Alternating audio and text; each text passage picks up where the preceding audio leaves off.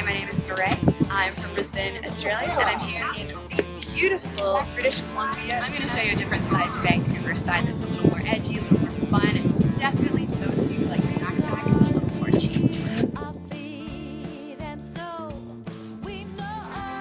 So you'll notice if you come to Vancouver in the downtown east side, there's like a lot of homeless people or beggars and it scares a lot of people off. But you'll find that as long as you're smart about things, most of them generally just nice and it's a good time and there's a lot of things to see. So don't let it deter you.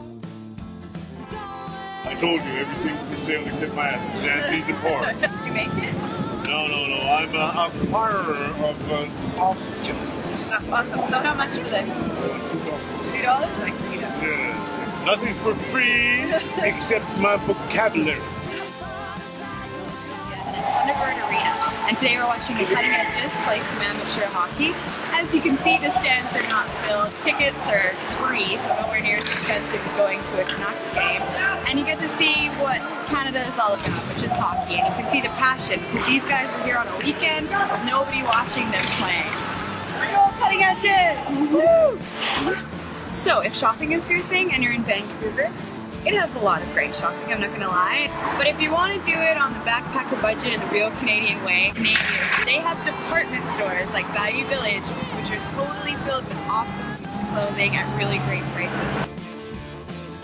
So I'm here in the historical Chinatown. I don't know what half of the stuff is, but I love coming here and checking it out now. Bacon,